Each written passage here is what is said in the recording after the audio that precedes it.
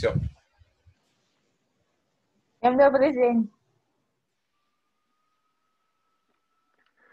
Добрый вечер. Мы сегодня продолжим читать статью э, про э, историю, как подготовку к восьмому дню творения. А мы ее на прошлый раз начали разбирать. Я расскажу коротко, о чем там шла речь. Э, речь шла о том, что э, во время творения можно выделить в каждый день четыре этапа. То есть вначале э, у Всевышнего был план, он говорит, да будет свет, например, потом реализация этого плана и стал свет. Потом оценка, как эта реализация произошла. И увидел Бог, что это хорошо. И потом подводится итог. И был вечер, было утро, день первый. И так происходит все шесть дней. А, заканчивается шестой день, а, и потом начинается седьмой день. И про а, окончание седьмого дня нам не сказано. Из этого мы делаем вывод, что седьмой день не закончился. Ну, по прямому смыслу мы продолжаем находиться в нем. А, это первое. И второе, что не все планы Всевышнего реализовывались в точности. А, есть небольшие изменения между планом и реализацией практически в каждый день. Вот. Но что нас главное интересует, это что человек. То есть э, природе не удалось создать душу живую, она создала только биологического человека. Поэтому Всевышний включился сам в процесс, чтобы вместе с природой сотворить Э, человека свободного, а, и сделал свою часть работы, после чего а, удалился на покой, как об этом написано в Торе. А, и теперь э, слово за человеком. Он должен завершить свою часть работы, чтобы таким образом войти, э, стать сотворцом, как это, шутав Всевышнего. А, вот. И из этого мы опять же учим, а, почему, почему Всевышнего мы не ощущаем в нашем мире. Это можно объяснить тем, что он находится в седьмом дне, то есть в шаббате. То есть он прекратил свои действия, теперь настало время действия человека. И тогда я включаю экран. Мы будем читать статью дальше. Ага. И стали святыми. Какой план седьмого дня? То есть каждый из шести предыдущих дней у нас был план. Ну, не у нас, а у Всевышнего. Мы об этом читали. Какой план седьмого дня? Это серьезный вопрос. Мы хотим понять, куда вообще идет история. И ответ в том, что история движется к святости. Это то, о чем сказано. «И благословил Бог день седьмой и осветил его». Быть святым в этом цель. И действительно, сказано в Торе, в Ваикра 19.2, «Святы будьте». А что значит «святы будьте»? Раббам говорит, что это итог всех заповедей. Когда вы исполните все заповеди, вы будете святы. Есть благословение, которое мы говорим перед исполнением заповедей, который осветил нас своими заповедями. И тогда придет день, о котором будет написано, и стали святыми. И увидел Бог, что это хорошо. И был вечер, и было утро, день седьмой. Когда, наконец, закончится день седьмой, тогда можно будет начать день восьмой. Это модель, которую мы находим в главе Берешит. Это структура творения. Вот. Очень интересно, что а, Раф Шерки предлагает нам не то, что там рассматривать Тору как какую-то древнюю книгу, а более того увидеть себя в ней. И что а, как бы там есть какие-то возможности для участия в этом процессе, а, таким образом, что даже там, ну, тут метафорически говорится, что будет добавлены там слова в Торе, но в любом случае, когда мы включаемся в этот процесс, а, то ощущаем себя как бы участниками вот этого рассказа о творении. Что-то еще есть добавить или спросить? Э, может быть, я добавлю из того, что мы учили про маниту, про благословение и святость. То есть два параметра э, Всевышний э, соотнесся с седьмым днем человека, э, с седьмым, седьмым днем творения, с нашим седьмым днем. Э, и тогда мы говорили, что благословение – это э, нечто дополнительное к тому, что просто минимум необходим для человека, дополнительные силы, дополнительное удовольствие – а, а святость это вот э, э, цель, к которому э, человечество должно прийти и в котором э, оно должно совершенствоваться. Ну, это так в двух словах. Если я правильно помню. Да-да, там было вот эти два действия, и благословил, и осветил. Да. Да, то есть благословил это как бы количество, а осветил это качество. Там у Маниту было много интересного. Нет. Э, благословил... Ой. У меня тут э, в зуме вылетает новый компьютер, не знаю, но недолго. Э, благословение это не, э, не количество и качество, это разное. Благословение это э, то, что он дает нам дополнительного в этот седьмой день. Дополнительные силы, дополнительные возможности, дополнительное удовольствие. Это чтобы показать нам, как бы, научить нас чему-то. Того, что Всевышний э, щедро дает человечеству больше, чем необходимо даже для, для выполнения его функции. А святость это то, э, тот вектор, то направление, в котором человечество должно продвигаться. Оно не, э, э, еще не, не достигнуто, вот как раз нам здесь объясняет состояние святости, но оно раскрывается по мере э, истории. Вот, во всяком случае, я как это понимаю. И благословение, оно как бы помогает человеку в этом, потому что он э, учится уподобляться Творцу, э, э, сам понимает, что, что это хорошо давать э, бескорыстно кому-то что-то. Ну, в общем, это отдельная история.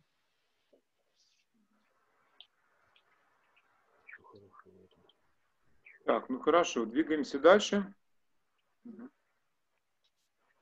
Что такое святость? Остается вопрос, а что такое... что такое святость? Давайте дальше. Угу. Тора говорит так, как будто читатель Ой, понимает, о чем здесь говорится. Меня не слышно? Не знаю. Мне, нам, мне, нам, мне слышно. Не знаю, мне слышно. Так, наверное, что-то у Нахама. Мы, кстати, не слышим Нахама. Нету звука.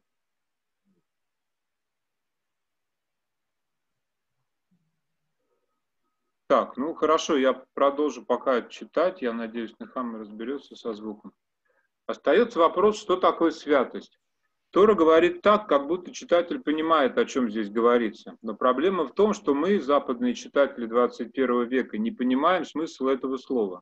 Есть множество мифов, которые люди изобрели себе, чтобы дать себе определение святости. Ответ в том, что святость, и я могу доказать это различными источниками, это система непосредственных взаимоотношений между творением и Творцом. Но есть различные вещи, служащие препятствием между нами и Всевышним. И главное, что стоит между нами, это природа и самосознание. Придет день, когда мы сможем устранить эти преграды. И тогда отношения между человеком и Богом станут прямыми. Как написано Ишаяху 2.17, «И возвеличен будет один только Господь в тот день». То есть не будет преград, разделяющих творение и Творца.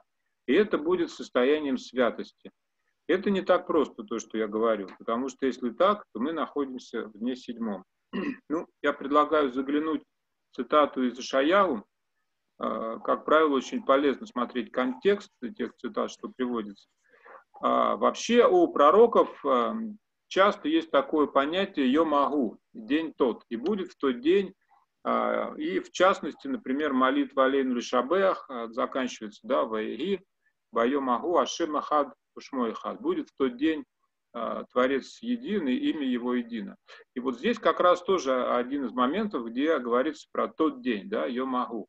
Во-первых, это вторая глава Ишаяху, та самая, которую мы постоянно вспоминаем, потому что тут утвердится гора Дома Господня, а, придут многие народы, скажут, давайте взойдем на нее, из Сиона выйдет Тора.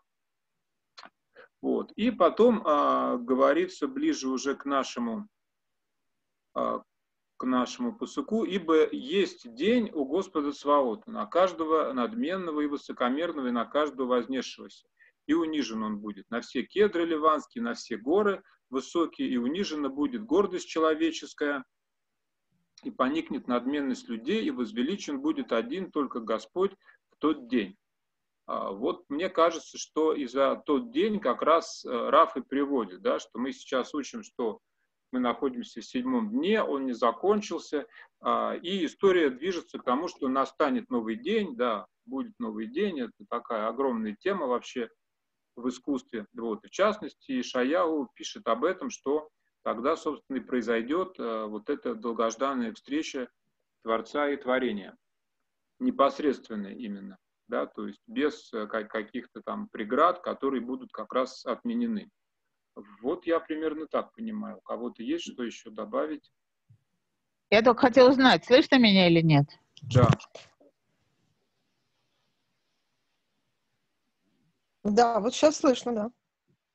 Ну, что это было, не знаю. Эм, на самом деле, действительно, все равно не совсем понятно, что это такое непосредственное общение между Богом не через посредство природы. Это сама по себе действительно очень сложная тема, неочевидная. Я не знаю, как это точно определить.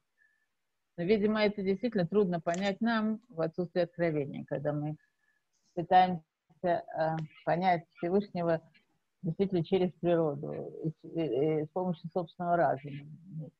Какие-то между нами стоят преграды, где нам приходится полагаться на природу и на разум. А можно вопрос? А, да. А, а ведь если человек умирает, то, собственно, он и встречается тогда творение с Творцом. Логично. Зачем ждать конца седьмого дня? Дима, ну ты знаешь, что совершенно разные точки зрения есть, э, что происходит с человеком, э, когда он умирает. Ну, по Рамбаму это, так сказать, один какой-то процесс. Есть другие э, комментарии, которые говорят, что это другое. Понятно, что это смерть это вовсе не то, что э, соединяет человека с Богом. А, а до прихода восьмого дня, э, то есть до окончания седьмого дня не может быть вот это непосредственно. То есть по Рамбаму там э, а, они просто находятся где-то на складе душ. Эти души, которые должны потом... Э, Нихама, ну, Нихама, я правильно понимаю, что на самом деле душа это понятие вот такое, километр туда, километр сюда. Может быть и коин, все коины по рождению, они к души. Назир может стать кадош и так далее. Народ это... называется Ам-кадош или Гой-кадош. А как, мы это, сейчас как... разбираем, это совсем, совсем другого уровня к душа. Ну, ну, конечно, у души бывают совершенно разные, разные аспекты, совершенно верно. Но э, вопрос твой, он, ты сам понимаешь, сам же на себя ты э, сложность ставишь. Конечно, вот это вот такой вот большой вопрос, и есть очень много у него аспектов. Поэтому э, как бы это не, не сложность, это не, не об этом идет речь. А вообще он говорит о, о, не о конкретном человеке. Я думаю, э, конкретные люди, некоторые вообще там, типа Ханоха, пророка Ильяу, они вообще не умирали. И у них совсем, может быть, другие, как сказать, отношения с Богом. А говорит, э, он говорит обо всем человечестве. Перед всем человечеством стоит эта цель достигнуть седьмого дня и достигнуть прямого контакта с Богом. Не перед конкретными людьми. Конкретные люди тоже в это включены. Это, это, мне кажется, одно из самых важных э, аспектов здесь. Человечество, как оно есть, выйдет на другую ступень. Ну да, потому что вот этот э, единственный пример непосредственного общения с Творцом мы видим а, у Адама и Всевышнего, да, вот, ну, больше нам, собственно, не, не на чего ориентироваться. А тогда получается, что мы должны вернуться вот в этого единого Адама. Тогда получается, когда умирает один индивидуальный человек, это, собственно, ничего не происходит, да, он там максимум попадает на какой-то склад, то есть э, душ, да, то есть задача-то как раз вернуть все творение в Ганедан, там все души вот в этого Адама, потому что только все вместе можем как-то опять же вернуться к этому непосредственному общению, да, о котором мы сейчас и говорим. Андрей, не только вернуться, потому что, например, Маниту называет это состояние Бен Адам. То есть более, ну, он опирается на понятие, которым пользуются пророки. Э, то есть это некий следующий этап даже за Адамом. Но когда действительно, с другой стороны, это собирает все вот искры Адама, конечно, э, которые почти то же самое, но я немножко с небольшим, мне кажется. Небо... То есть это Адам, конечно, но на некотором более высоком уровне, который реализовал свою задачу. Человек. Святость я как понимаю из других мест. То есть у него два значения. Во-первых, это трансцендентное. Во-вторых, то, что связывает с трансцендентным. Ну, мы это учим, например, из предметов мешкана, да, это какие-то обычные предметы этого мира, которые после определенного ритуала все, становятся уже не в этом мире, а становятся инструментами мешкана, да, их уже нельзя использовать для материальных целей. То есть они как бы и здесь, и не здесь, они выделены, они не здесь. Но с другой стороны, а, люди из нашего мира туда приходят и при помощи этих а, инструментов они связываются с тем, что, собственно, находится за пределами нашей реальности. Просто, ну, э, святости действительно э, в нашем мире есть много аспектов и много разных подходов и определений. Например, в самом простом лингвистическом э, смысле э, ликадеш, осветить, это предназначить для чего-то. Создать какой-то э, э, яд, да, например, ну, предмет, он предназначен строго для служения, он не может служить для чего-то другого. Когда я посвятил, осветил животное, предназначил его для жертвоприношения, я уже не могу его э, не только есть, но и стричь и так далее, ездить на нем. И У него есть Тут да. не, просто, не просто предназначить, а нужно взять нечто из чего-то, то есть выделить, и потом предназначить. Просто предназначить это... Секундочку, я говорю о лингвистическом смысле. Я не говорю о законах жертвах или все. Например, есть такое понятие гдыша, то это э, э, проститутка на святом языке. И это означает, что у нее, она как бы тоже выделена, у нее есть, она, э, не, э, у нее есть специальное назначение, как бы это, грубо говоря. То есть точно так же, э, когда э, делают э, кедушин, да, э, а, посвящение женщине и мужчине, я не хочу сказать, что этого нет других аспектов святости в том понимании, как мы говорим, возвышенном, трансцендентном и прочем. Но в самом простом лингвистическом понимании это женщина микудешет, то есть она не разрешена никому другому, предназначена только для этого мужчины, никому больше не разрешена. То есть я просто хочу сейчас очертить это вот э, э, в лингвистическом смысле, что это значит э, кадеш, да? Кадеш ли коль фор выдели всякого э, первенца и так далее, и так далее. Э, но кроме того, в смысле, так сказать, концептуальном, есть, например, мнение, что э, Кодыш уже в таком возвышенном смысле это место, которое, которое отделено тотально, вот в трансцендентном смысле. Например, э, то, что не, в принципе запрещено почти всем. Кодыш Кудашим, туда никто не может зайти. Кодыш почти никто не может заходить. Кодыш а, как бы э, вычеркивает э, э, объект из, из нашего мира. Такой э, подход тоже существует. То есть в святости в ней очень много аспектов. А то, о чем мы сейчас говорим, это вот это назначение мира, та точка, к которой мы должны прийти. И здесь Рав Шерки наделяет ее особым смыслом. Что это за точка? Это точка, в которой будет у нас непосредственное общение со Всевышним. Человеческий. Ну, хорошо, тогда двинемся дальше. Там будет дальше проясняться тема святости. Восьмой день как время и место. Но есть в Торе ясные указания на то, что день восьмой уже начался. В Икра 9.1 сказано «И было в день восьмой». Там говорится об освящении Скинии, Мешкана, пустыни. Мешкан – это место, где впервые происходит непосредственная встреча Творца и творения на постоянной основе. И об этом сказано «И было в день восьмой». И у нас получается очень странная ситуация. С одной стороны, начался восьмой день, а с другой седьмой еще не закончился. Нужно сказать так, седьмой день не закончился в мире, но восьмой день начался в храме. Тот, кто хочет узнать, как будет выглядеть мир в восьмой день, пусть войдет в храм и там встретится лицом к лицу с Творцом мира. Теперь у нас есть какое-то понятие о восьмом дне. А когда выходят из храма и возвращаются в мир, тогда возвращаются обратно в седьмой день. То есть тут очень интересно, чтобы объяснить понятие определенного времени, да, Раф объясняет через определенное место, да, и мы видим, что на самом деле речь не о времени, не о месте, а о святости. То есть я это так понимаю, что э, Творец скрыт, мы его не ощущаем, но а, чтобы совсем мы как бы от него не отделились, а, он устроил такую систему порталов, да, есть такое понятие в фантастической литературе, портал. То есть, например, обычная дверь, ты заходишь, там попадаешь в подъезд дома но в определенный момент, там, и при определенных условиях ты открываешь ту же дверь, попадаешь совершенно, там, телепортируешься в другую какую-то реальность, там, в прошлое или в будущее и так далее.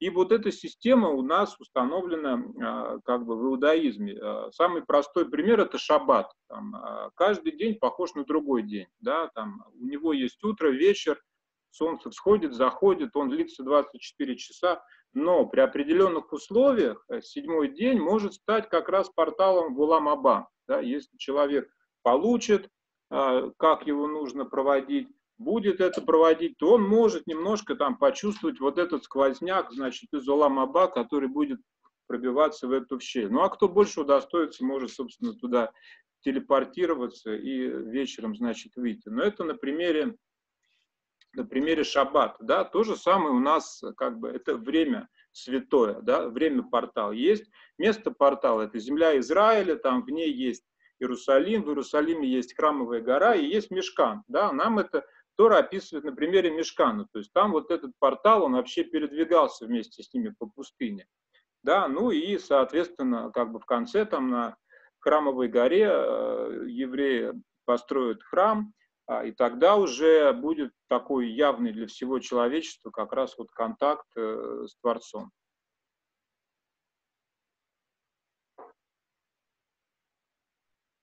Вот как-то так.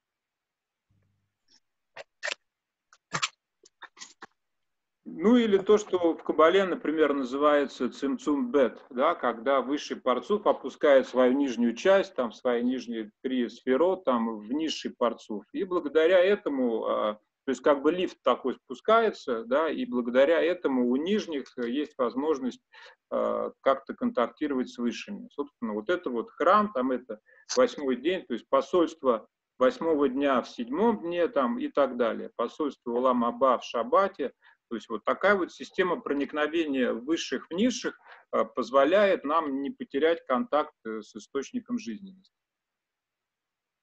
Кто-то хочет еще что добавить? Может, как раз это школа Шамая, когда сверху будет раскрываться Всевышний, а не снизу, как сейчас идет постижение Всевышнего. Вопрос интересный. Нехама может что-то добавить? И есть такое мнение, что в будущем будет э, э, законный по но он, я не знаю, оно насколько всеобщее.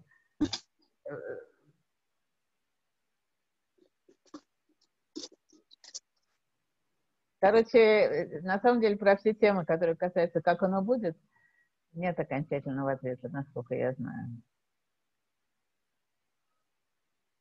Можно я хотел спросить, а при чем здесь э, самоосознание? Каким образом оно мешает? Вопрос интересный. А, для тех, кто знает иврит, там звучало слово «тодаа».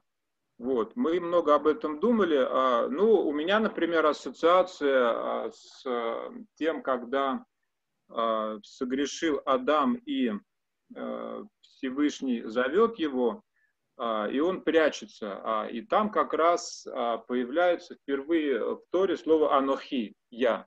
Да, то, что он увидел, я убоялся, что голый я и спрятался. И вот между словом голый и словом спрятался впервые в Торе появляется слово «анохи». И это можно так понять, что вот это «я», вот эта индивидуальность, да, это то, что скрыло человека от Творца, когда ему стало стыдно то, что он согрешил, и до сих пор вот эта наша индивидуальность, она нас, собственно, от Творца отделяет, да, как сказали э, мудрецы, что во Вселенной не умещаются человек и Творец, да, если есть э, Творец, то нет места человека. Если ты говоришь «я», да, ощущаешь себя, то Творец устраняется из твоего ощущения.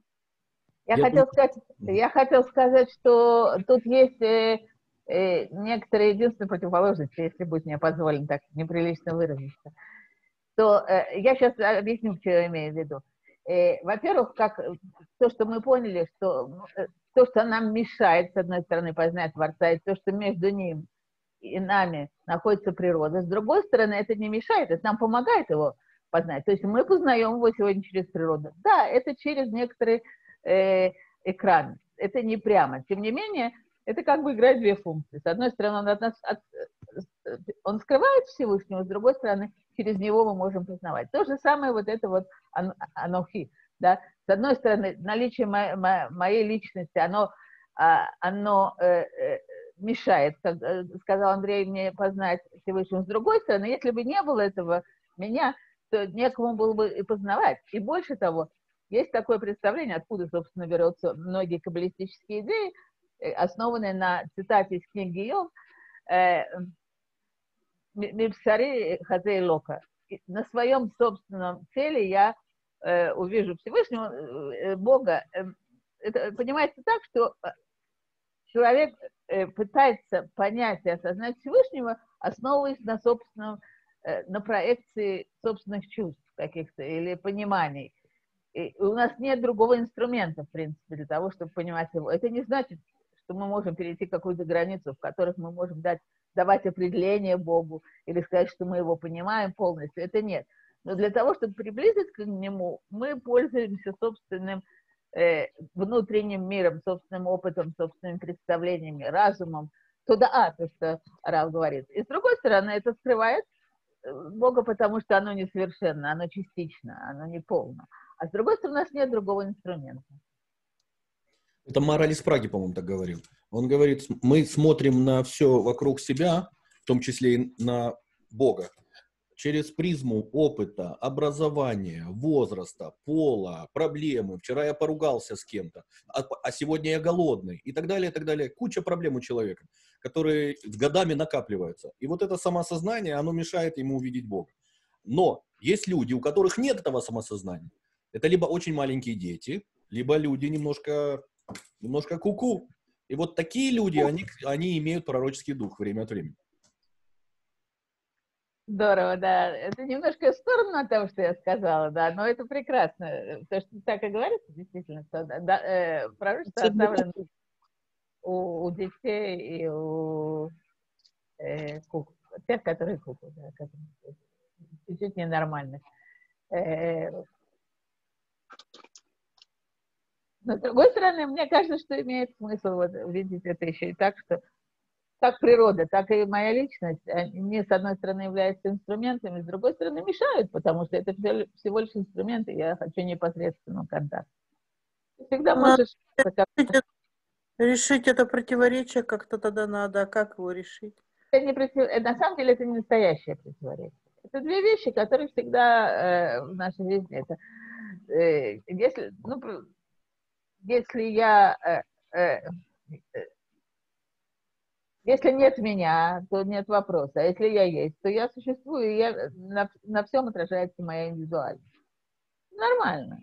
Это на сегодняшний момент, в котором э, так мир Бог построил, и так мы в нем живем, и так мы действуем. Ничего такого плохого там нет. Мы должны пользоваться этим максимально правильно, стараться быть максимально честными друг, друг другом самим собой. Это проясняет наше видение, нашу, нашу личность, и всматриваться в природу и в события исторические, э, и делать правильные какие-то выводы из этого. Это то, что человечество э, делает. Общем, должно то есть делать. правильно использовать материальный мир для познания Всевышнего. Совершенно верно. Получается, материальный мир, да, вот эта природа, а также и я, да, моя индивидуальность, это такой некий экран, который, с одной стороны, меня отделяет от Творца, а с другой стороны, благодаря вот этому разделению, я как раз его и познаю, потому что иначе я бы в нем растворился, и меня бы не было, не было бы познающего, и все потеряло бы смысл. Совершенно верно. Но, видимо, мы, нам сегодня это трудно себе представить, что когда человечество дойдет до какого-то уровня высокого, который от нас ожидается к концу седьмого дня, эта проблема каким-то образом разрешится, не будет проблемы. Когда мы сможем стать полноценными партнерами, это трудно себе нам представить. И главное, сегодня не, непредставимо, как и многие вещи.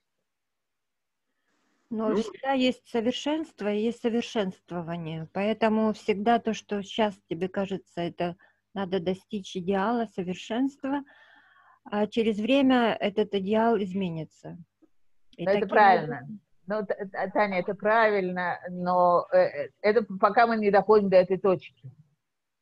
На сегодняшний день нам понятно, что мы все время у нас есть какой-то достигаем определенной цели, условно говоря, да, а потом продвигаемся дальше. Всегда есть некое совершенство и совершенствование. То, что вы говорили там э, на наше, э, нашем разговоре о рад, о симха и сасон, радость такая, радость другая.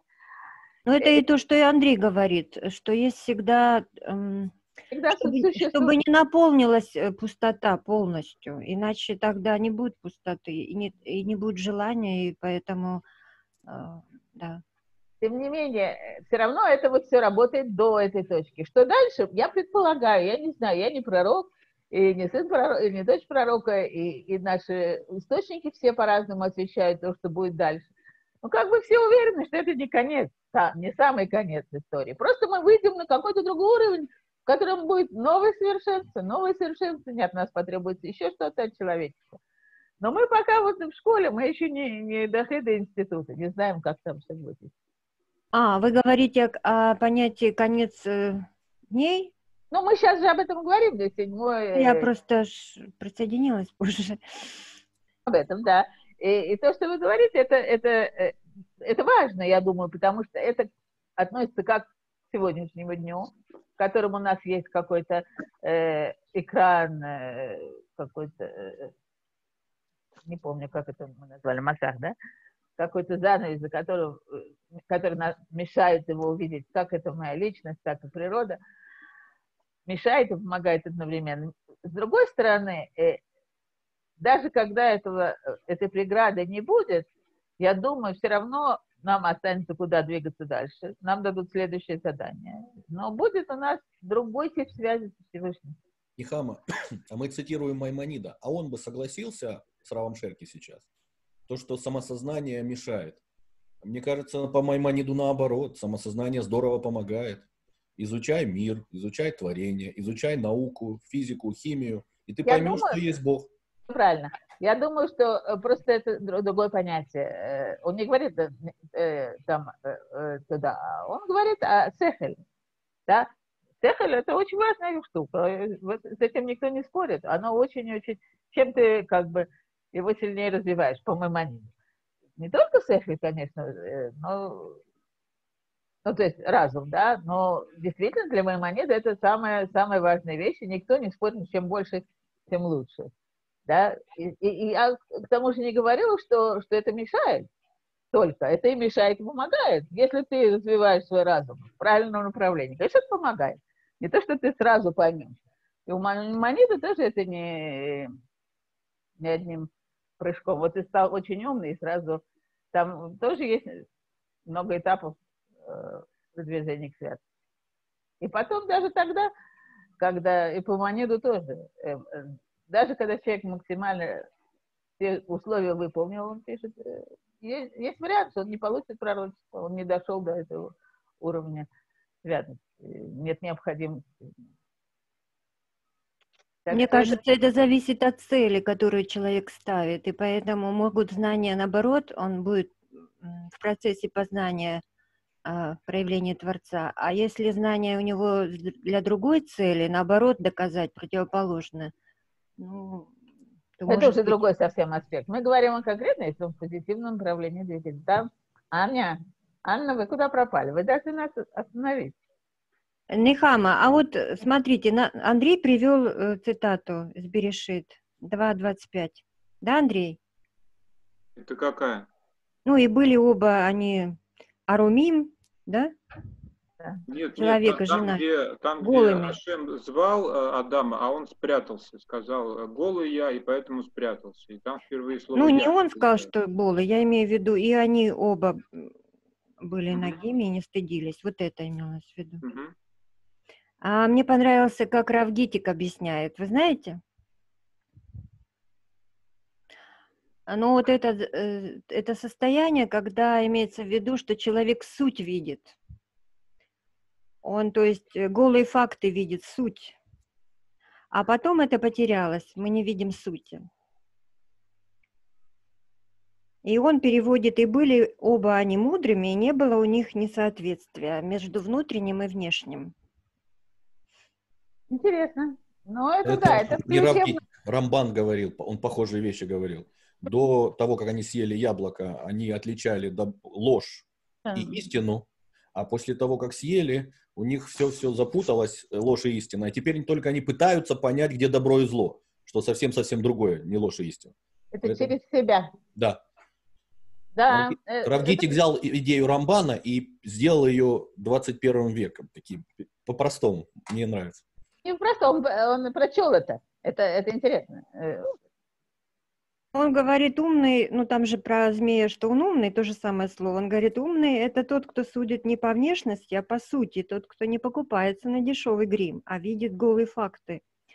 И поэтому вот он так, э, и он приводит там, и увидел народ, э, что Башеш, Моше, спуститься с горы.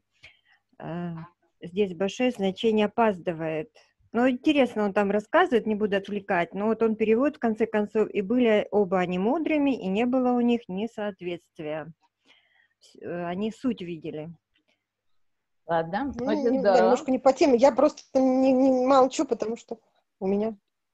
Потому что что? Да, да, у нас как-то все это здорово, просто... У меня просто интернет сегодня плохой, поэтому я немножечко как-то... У меня такой звук неважный. А на самом деле очень так интересно, интересный вопрос. Кстати, интересно, может быть, все сюда говорится про самого Машина среди всех людей. То есть, может быть, его собственная какая-то самость, его собственное какое-то «я», оно настолько было как бы прозрачным, что оно не мешало ему, ну, как бы не, не мешало, пропускало свет Творца. Вот как-то так. Я, я слышала такое объяснение по моменту, что вот что чем у человека меньше вот какой-то его собственного какого-то эго, что ли, вот какой-то вот сущности такой, то тем лучше он пропускает вот свет Творца, через него проходит. Вот, вот такой еще момент. Может, может быть, что вот как к тому, что кто видит Бога, кто нет. Ну да, у него расширенное «я». То есть он не только фрагментарно смотрит на мир, а понимает, что оно все в одном как бы связке, в одной лодке мы. Разные аспекты. Ну да, вот к тому, что насколько наше вот, да, ну да, да, как вот Таня сказала то, что, э, сказать, насколько помогает человеку, насколько мешает свое или помогает наше «я», или не мешает нам познать Творца. Ну вот где-то это помогает. Ну, хорошо, тогда двинемся дальше. Так, ну что, на что у нас там дальше? У нас вот там дальше еще интересные моменты есть. Да. Это объясняет известную проблему. Если храм так важен, как он мог быть разрушен? Он разрушен, потому что он не подходит к миру. Он чужеродное тело в мире. Понятно, что любое чужеродное тело отторгается. Органическая система отторгает все чужеродные. Поэтому человечество разрушает. Вот такая э, необычная идея. На самом деле, мне кажется, здесь э, объясняются и корни антисемитизма. э, Да, то есть, потому что еврейский народ, он тоже представляет, ну, Гой Кадош, да, святой народ, то есть представители как раз вот э, Улам Аба, которые несут вот это трансцендентное слово человечеству. Поэтому есть в человечестве некое такое подсознание, да, которое ощущает их чем-то враждебным, да, чем-то чужеродным, начинает их отторгать, да, потому что, ну, как, собственно, э, Гитлер и сказал, да, прямым текстом, почему мне не нравятся евреи, что они принесли в мир мораль, да, то есть человек был таким э, животным, э, нормальным, как вот э, там мог там, ну, как животное, там для него там убивать было нормально, как там и древнегреческая философия, древнеримская. И тут приходят евреи, говорят, вот тебе слово Всевышнего, да, вот его план, нужно его реализовать. Вот, конечно, это воспринимается как э, нечто такое чужеродное, и поэтому возникает вот у, у некоторых слоев населения вот такое как бы отторжение. Да, Андрей хорошо, кстати, подметил. Я вот тоже об этом как раз думала, что антисемитизм – это отторжение ну, инородного тела, как вот белую места и того, того, кто не похож на них, кто слишком какой-то инопри... иноприродность какую-то чувствует. Это вот очень хороший момент, мне тоже так кажется. Слышно оно? Или только мне? Э, Ну, прерывается, но в целом слышно. Мгм. сказать, это просто отметить, это, по-моему, это э, видно из того, что мы читали, но тем не менее подчеркнуть, что получается так, что с одной стороны храм необходим миру для того, чтобы как-то его продвинуть, но через какое-то время вот это напряжение между реальностью и святостью, оно настолько увеличивается, что храм разрушается. И все время тоже, с одной стороны, евреи продвигают куда-то мир, а с другой стороны происходит э, вот это напряжение возрастает, и, и, и их э, пытаются э, от, отторгнуть или как бы против них выступить. Скажите, а почему, Равшерки, мы сейчас читаем самое, что ни на есть настоящая кабала, да? Э, но почему он говорит, что храм нижний разрушен, а храм верхний остался неразрушенным? Почему как бы он не посчитал нужным, что это стоит здесь написать? Как вы думаете? Вообще, я думаю, что он здесь очень-очень концентрированно все излагает. То, что вот, э, ты, у нас не было на занятиях Маниту, там видно, что он Маниту очень все эти вещи, все темы, которые здесь Раферти очень кратко излагает, там они все развернуты, и там больше понятно, как это все работает. Но, про, ну, кстати, он тоже там не пишет про Маниту, не пишет про высший храм. Если у тебя есть что добавить из лекции Раба про высший храм, я бы э, с удовольствием послушала. Но он в, в других лекциях Равшерки говорит об этом. Он говорит, разрушен храм, конечно же, 2000, почти 2000 лет. Это наш, Лемата, нижний храм. А верхний там. И как мы живем, говорит, 2000 лет без храма. А мы вместе с ним живем, говорит он. Просто он напоминает, что это такое. Мы находимся в состоянии прыжка, говорит он. Как обезьяна прыгает с одной, с одной ветки на другую. То есть у нас был храм, и у нас будет храм. Только поэтому мы сейчас и живем.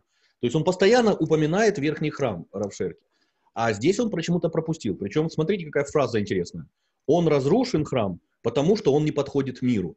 А мне кажется, что было бы правильнее сказать, потому что мир не подходит храму. Ну, ты прав, наверное, да, так, наверное, и надо. Э, но, в принципе, одно и то же.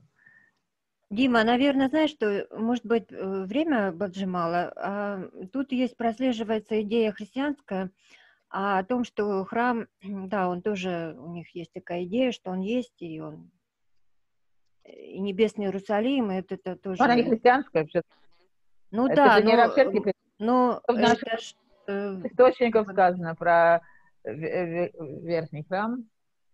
Э, э, ну, неважно. Есть такая фраза, например, пока не войдет в нижний, не войдет в Верхний Иерусалим, пока не войдет в Нижний Иерусалим. То есть есть Верхний Иерусалим, это высший храм, это не, э, не современные идеи, даже не средневековые, ну, это из Талмуда еще, из Медрашей. Поэтому это идея, естественно, христианство, оно не придумала. Если у него она есть, я просто не специалист, но я думаю, что... Не, ну, ну понятно, что она не придумала. Другой... Нехам, она, конечно, она не придумала, но имеется в виду, может, Раф Шерки не стал нас, так, так как многие, может, пришли из христианства, ну, может, еще не время было сказать об этом, надо подготовить слушателей. Потому что там э, все-таки ему придается другой смысл, хотя небольшой на то христианство, это нужно кто-то, кто в этом лучше разбирается. Хм. Ладно, спасибо, Дима. Пойдем дальше, Андрей. Но, с другой стороны, должны быть храмы в истории. Поэтому был и Мешкан, и первый, и второй храмы, и с Божьей помощью будет третий, чтобы подготовиться к восьмому дню, в котором непосредственная связь между Творцом, в котором есть непосредственная связь между Творцом и Творением. И в этом, по сути, главное содержание седьмого дня – подготовка к восьмому дню. То есть, собственно, основная тема этой э, лекции и вообще там э, все а, Сейчас текста жизни. мне вас. Что-что? Нет, текста, текста дальше уже не видно.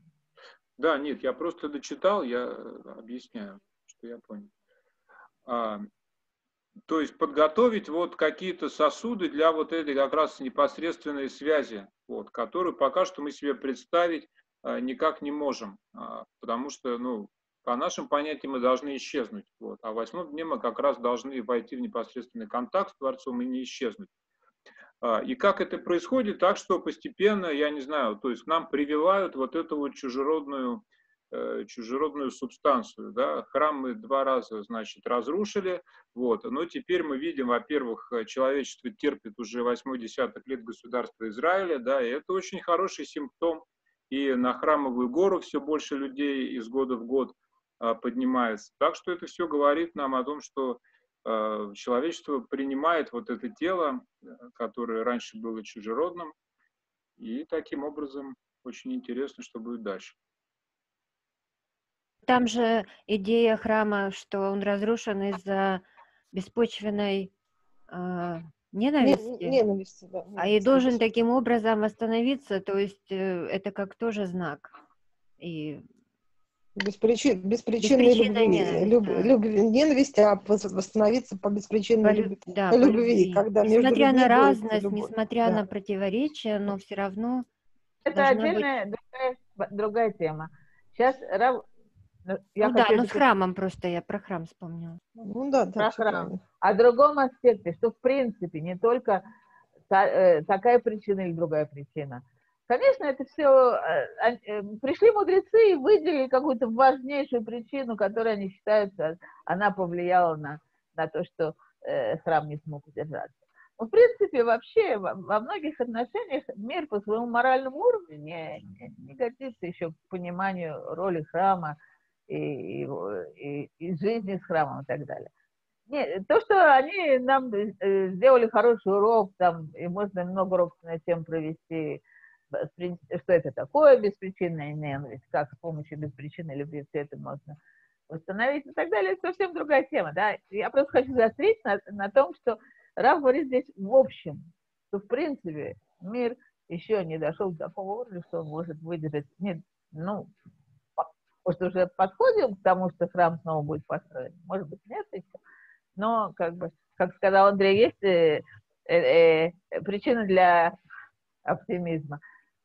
Но, э, не хама, но это же изнутри идет вот это э, решение вопроса о беспричинной любви. То есть оно исходит изнутри человека. И, соответственно, оно потом проявится и в этом желании а, сделать дом молитвы для всех народов. Ну, наверное, да, я надеюсь.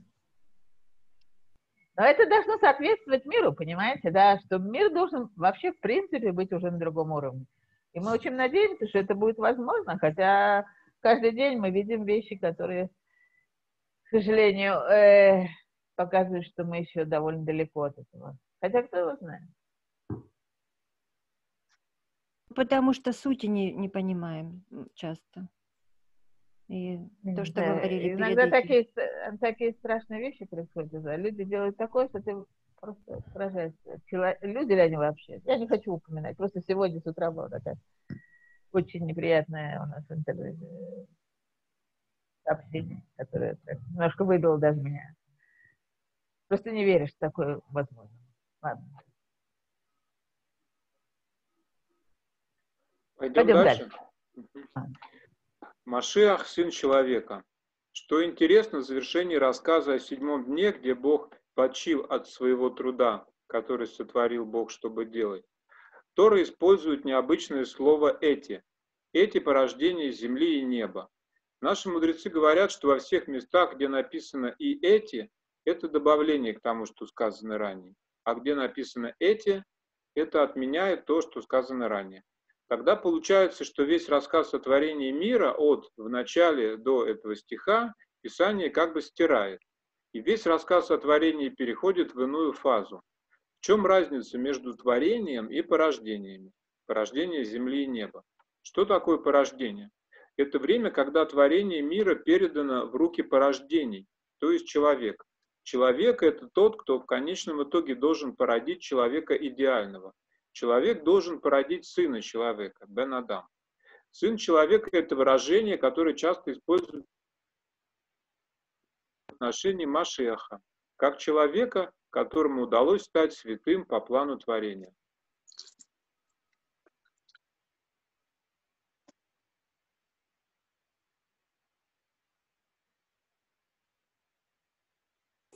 То есть это какая-то э, как бы следующая ступень эволюции, и как бы э, Машиах э, это уже не такой, как мы, это уже э, что-то следующее, не совсем человек в нашем понимании. Получается, да, если у нас э, как бы был Адам в книге Берешит. Дальше пошли порождение, и, значит, следующий будет Бен Адам. Ну, в каком смысле не такой, как мы? Это, э, он у нас заключен, на самом деле, потенциально. То есть э, в чем смысл вот этого человека, который сотворил Всевышний? В том, что у него есть моральное чувство, то есть моральные ориентиры. Если человек способен, э, то потенциале он способен стать моральным человеком. Да? Э, то, что требуется от Бенадама. У Маниту есть еще такое выражение уравнение братства. То есть, когда он действительно реально может э, стать э, моральным по отношению к другим людям, вести себя морально. И когда такой, не только единственный человек такой, но когда все человечество поднимется на эту ступень. На самом деле, э, э, это не кажется, что это что-то совсем уже другое существо э, в смысле эволюции. Это в смысле моральной эволюции, э, возможно, э, скачок. Ну или не скачок, а некоторый уровень такой, который нам сегодня трудно себе представить. Вроде как э, какие-то были анекдоты такое про колонию малолетних преступников, если там приезжает оркестр играть. Вот это, не помню. В общем, короче, господин учитель, мне бы ваша забота. И это, это различные миры, может быть. Но это один и тот же человек. Это сын человека. Это а я хотел... А, можно спросить, Кажется... если вы закончили? Да, да, я закончила. Андрей, вот здесь непонятно на русском, ну, человек, человек, а на иврите там в тексте у Равшерки, там, а, помните, говорили а, Адам, да, вот про тот, кто будет, как и свет, или стал. А, ну да, да, во-первых, да, вот... здесь используется слово Адам, Адам и Бен Адам, вот. Адам а там... это совсем другая тема, не знаю, как это одно к другому. Там просто Адам без Ха, да? Бен Адам. На самом деле, э, вы знаете, чтобы, чтобы различить человека и, и Адама, поскольку это одно и то же слово, обычно, когда говорят о, о, о Адаме, а не о человеке, употребляют слово первый человек. Адама решен. Решен, да.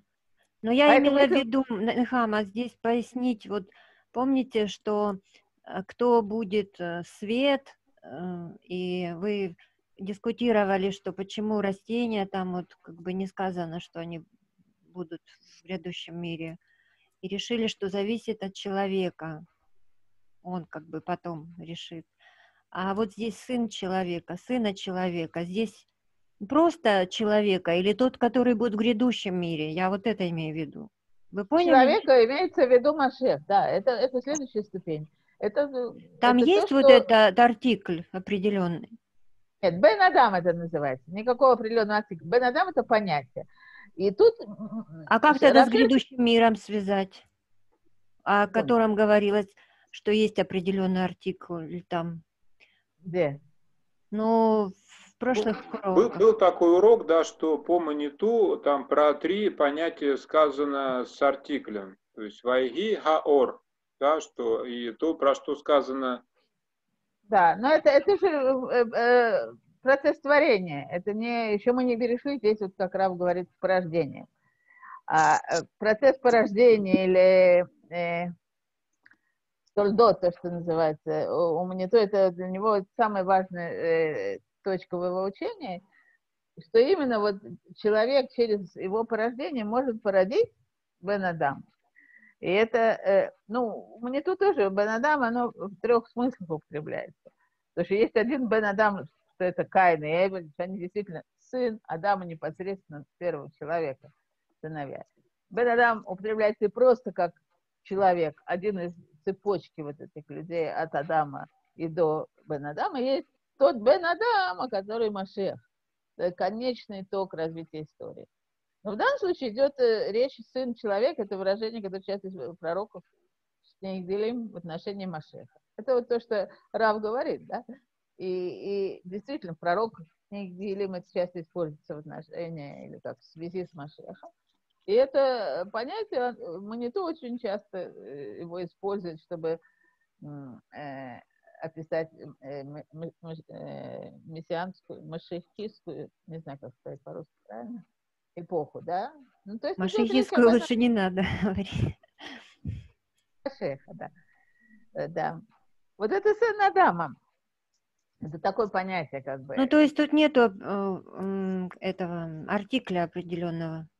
Это подчеркнуть, что это э, развитие истории порождения э, всех э, результат вот, э, цепочки э, исторической э, рождения от, э, от первого Адама и до Машеха. Да, то это порождение, что это сын Адама на самом деле. Это то, ради чего все, вся история была наша затеяна. Чтобы в конечном итоге вот пришел этот сын, сын Адама. Э, то есть человек, который... Ну, на самом деле у Маниту даже это, он неоднократно говорит, что это должен быть человек, а не, не какой-то, как, не, не дай бог, другое существо или, так сказать, более наделенное какими-то сверхъестественными способностями. Нет, это такой же человек, как мы, но только моральный. Просто мне не состыковывается с тем, что раньше говорилось про кто будет в грядущем мире, и там был определенный артикль, а тут нету, и тоже про грядущее. Это про, про о процессе, наверное, видно говорится. А, Что-то не согласовывается. Может быть, действительно, потому что здесь говорится о процессе, а там говорится о творении. Потому что на самом деле, может быть, если бы Адам не согрешил, он бы сразу стал Адам, сразу пришел э, грядущий мир. Кто его знает? Да, так, э, это тоже нас учит не то, что мы никогда, что выбор этот, он есть в каждый момент всегда э, человечество на, на любом этапе развития может выбрать, э, сделать выбор, стать моральным. Иногда это очень сложно. И, естественно, получается, что на это уходит много времени, постепенное продвижение идет, а не, не, не, не получается скачком все, все вопросы. А тут Машех получается как универсальная а? личность, а не как э, представитель Э, еврейского народа, который эм, стал в поколении Машеха, стал Машехом. А тут говорится вообще о понимании, что это человек должен таким э, ну, становиться. Это, это и, и все человечество, и конкретный человек, царь, Машех, э, неважно, глава, то, к чему еврейский народ придет, как целиком, так и в отдельной личности. Мы, это вовсе не отрицает того, что Машех это какая-то отдельная личность, но все человечество должно быть на уровне, иначе никакого смысла. Есть и такие примеры, что хотел Бог, ну, Мидраш говорит, да, хотел Бог сделать э, э, Хискияу да? Что значит хотел сделать Бог? Ну, вот была такая опция, но как она могла осуществиться, когда весь народ не был э, на достаточном уровне, соответственно, и сам Хискияу тоже э, здесь ошибся, не сказал песню. Это не просто он не сказал песню, просто это в этом выражалось, что история не подошла еще э, к такому пункту, на котором это может реализоваться. Так мне кажется, это я от себя говорю. Когда вообще вот это проявилась идея Машеха? Ну, например, э, пока не было еврейского народа, а, ну, но... вообще есть источники, что была идея про это? Или теперь только мы видим с расстояния, что она возникла? Могу только рассказать, что говорит Маниту.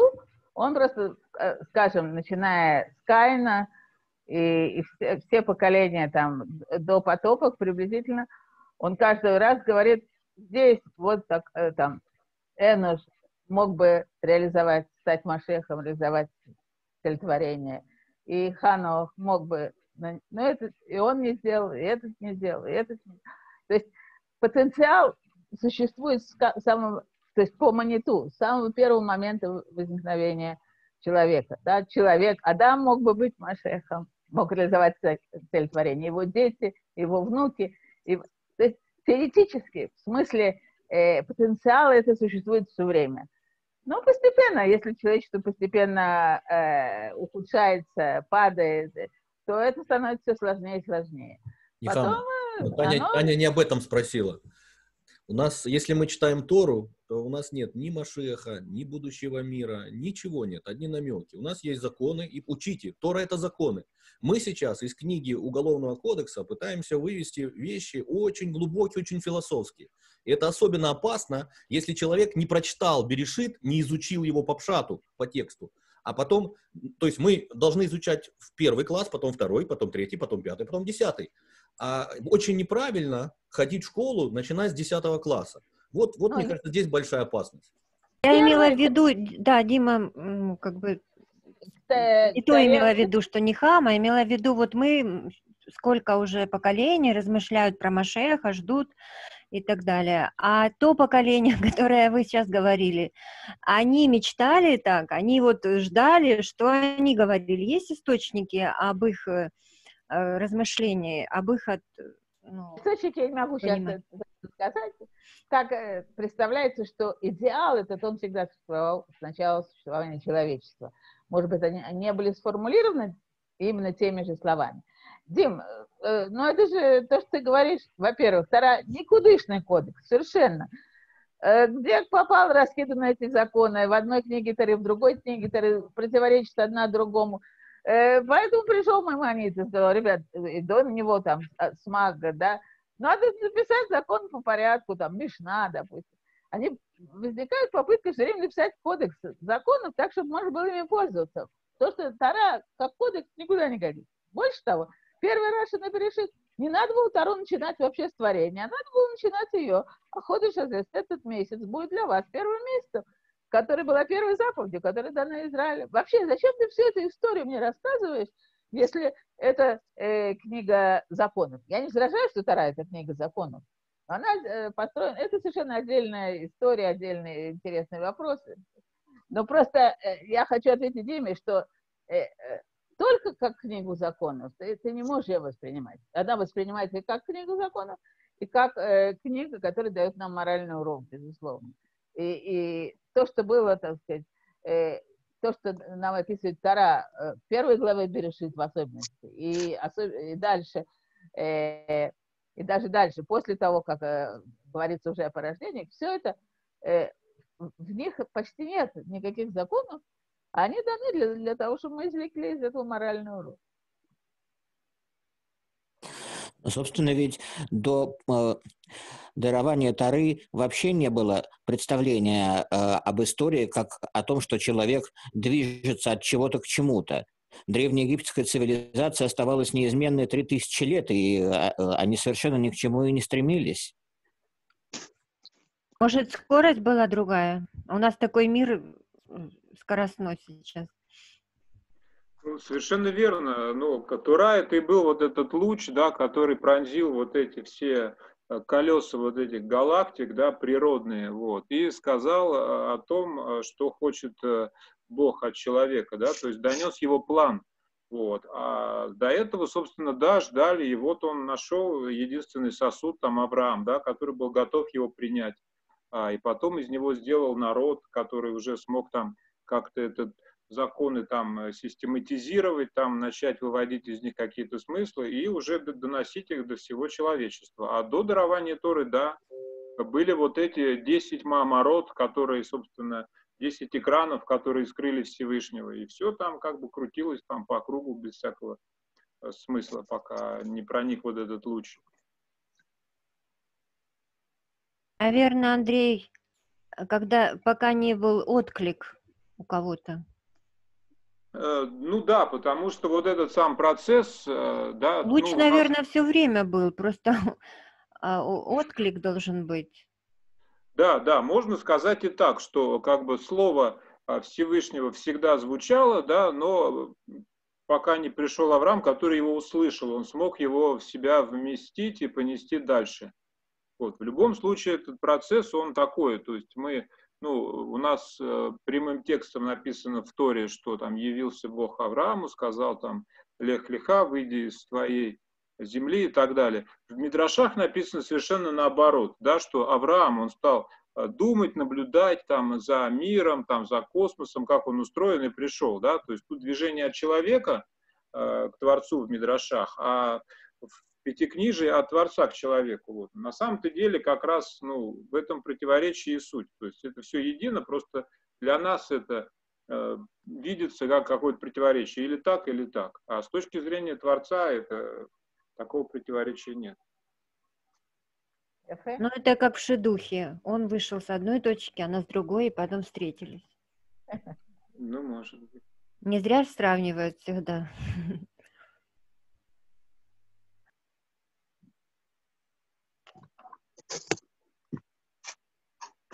Это конец, да? На этом остановимся. Ну да, статью мы дочитали, я не знаю, нас 17 человек, может быть, еще кто-то хочет озвучить свои впечатления или задать вопросы.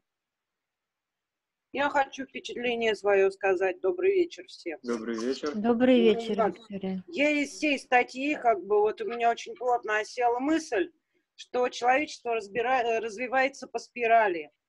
И как бы каждое новое строительство храма – это не- некий виток этой спирали, показательный в отношении, как люди относятся к идолопоклонству. Вышло ли оно из них совсем или нет. И в том числе и Машиах, как олицетворение зем- земной власти, как он справится со своей задачей земной, так, собственно, оно и будет. И пойдет человек на, на сколько витков он сразу поднимется. Мне кажется, вот так вот. У меня такая схема. Поправьте меня, если я не права. Может быть, я думаю. Вот именно моральное созревание, то есть и ушло ли, потому что человеку так сложнее всего, наверное, с идолопоклонством бороться в себе, в силу ограниченности. И вот как только мы продемонстрируем, что это ушло, даже не мы, а народ Израиля, как индикатор состояния общей морали человеческой, может быть, так даже. Ну, я думаю, идолопоклонство, мне кажется, иногда это разные уровни восприятия и понимания а, проявления э, Всевышнего, потому что если человек, например, ну, взять уровень Бнейнох, да, и если он возвращается назад, то есть откуда пришел там христианство, то он э, возвращается ну, ниже. А если он, из- например, христианин, но он вышел из тех языческих корней, которые, ну, вот как раньше, да, было, то это уровень Абсолютно намного выше. согласна, Тань. Именно это, да.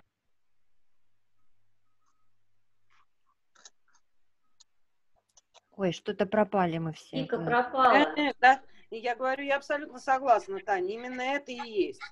Когда Да, да. человек свои моральные рамки раздвигает в соответствии с божественным планом, тогда он делает частный виток. Ну а вот на примере Израиля все человечество, наверное, так.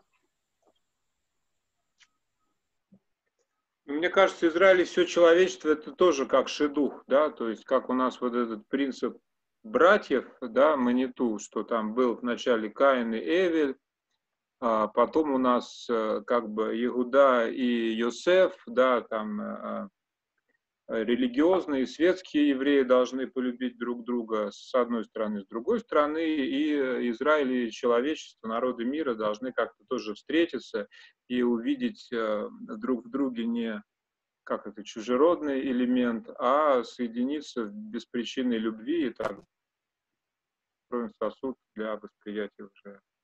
Ну, если ты об этом говоришь, это немножко в сторону от, нашего, от нашей темы. Я просто хотела э, сказать о том, как Маниту это видит. Мы просто до этого вроде бы не дошли, я не помню. Э, потому что надо было где-то остановиться.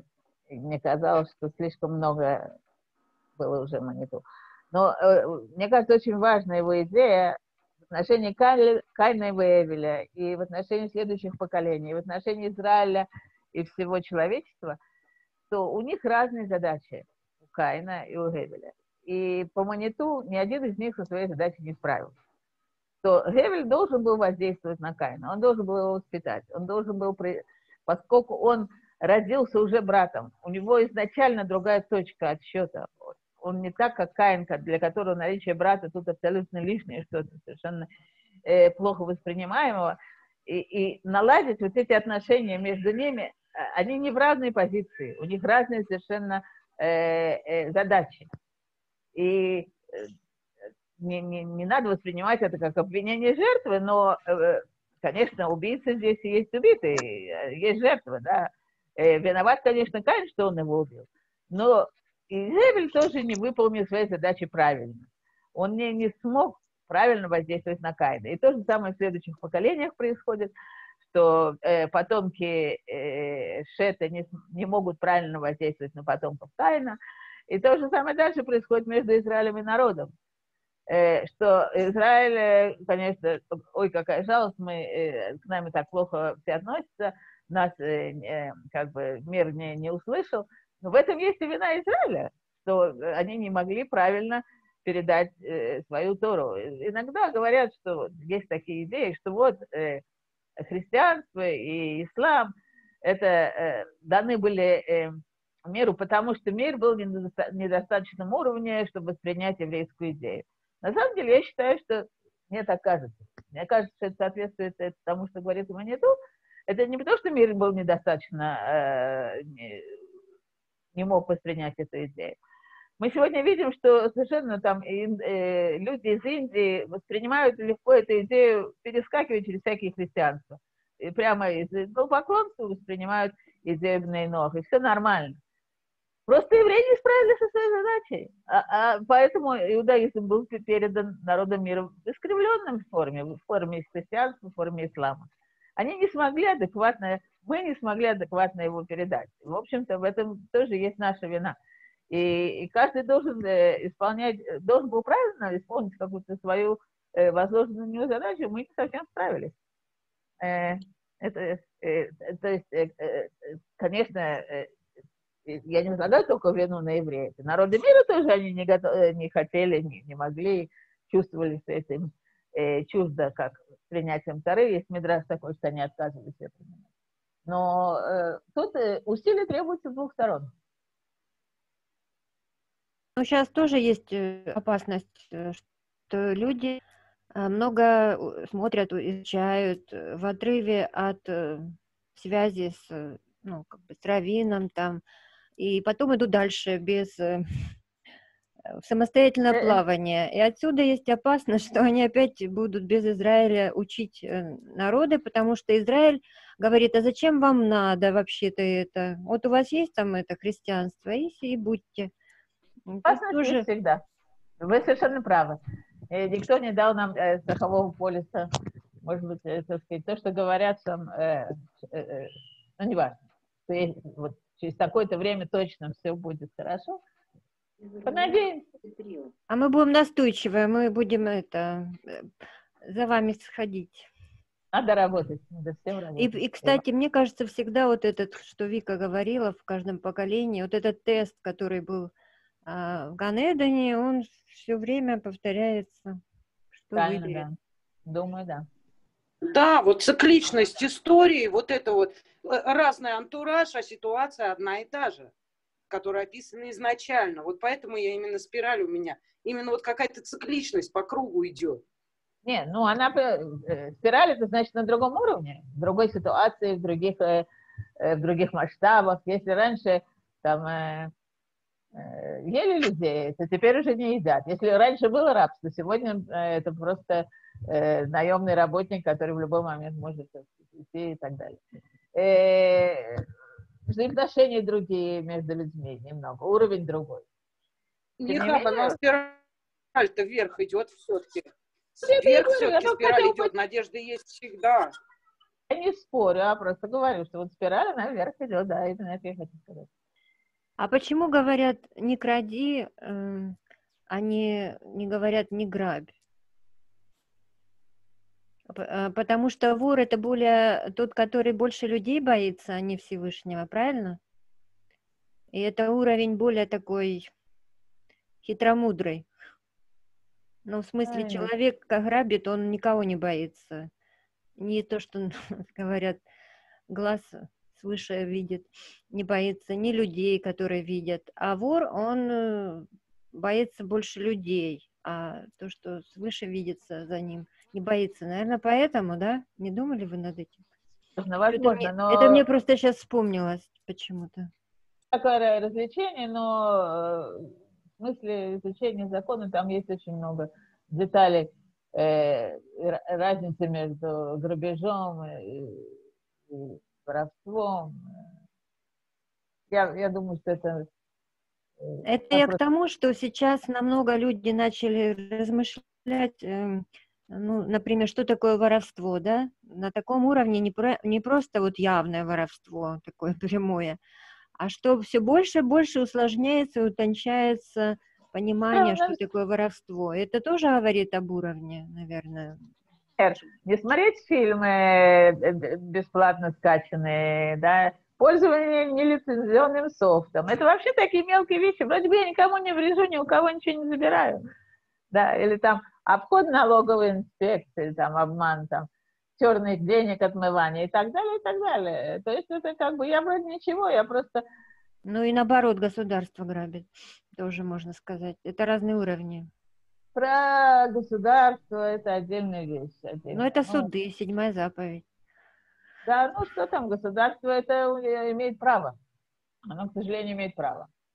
Мы ему это права даем. Э, Если оно грабит не в карман отдельных чиновников, а, а- а, так сказать, на какие-то свои цели, которые мы не считаем легитимными, то это проблема. Это мы дали, э, то есть в демократических странах, мы дали этому государству мандат. И, и он имеет право. Это похоже на то, как Шмуль предупреждал о царе, да? Э, что он, он будет иметь право. Вы, вы просите поставить царя, но он будет иметь право забра- забирать ваших сыновей в армию, э, девушек там и так далее. Э, у царя есть определенные права, и то же самое у государства. Мы ему даем. Э, Надеемся, что когда придет Машех, это все, все будет морально, все будет э, идеально. Ни- Никто никого грабить не будет. Ни люди, государство, ни государство люди. Мне кажется, вот эта фраза, когда придет Машех, она людей вводит в заблуждение, что вот кто-то волшебник придет и сделает. А когда, лучше может говорить, когда а, проявится в каждом человечестве, в каждом человеке, и этот человек проявится, лидер Э, в. Израиле и в каждых народах, наверное. Мы привыкли просто к этой формулировке, но на самом деле вы, конечно, совершенно правы. Там.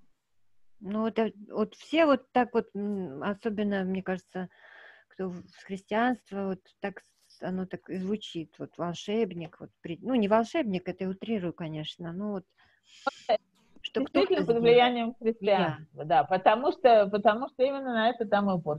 Это очень э, один из самых существенных сказать, минусов христианства, что оно э, утверждает, что человечество изначально порочное, и у него нет возможности справиться самому, а нужны какие-то внешние силы, нужна какая-то магия, нужны какие-то волшебники, которые придут и все исправят. В этом смысле, конечно, а, э, оно удаляется от иудаизма очень сильно в этой точке. Потому что это одна из центральных вещей, что человечество должно само исправиться. Да, Бог иногда подталкивает, да, Бог иногда помогает, направляет. Но никаких, э, но мы должны исправиться сами, никаких этих э, волшебных сил тут не должно быть замешано. Ну, может быть, остановимся на этом? Да, давайте, зака- а то скоро же будет мэр, надо еще немножко это переварить. Идти подготовить. в себя. Окей. О, Натан, привет. Привет, я никому не мешал. То, ну хорошо, все, мы на, мы на этом заканчиваем, правильно? Так. Окей, у нас... э, сейчас запись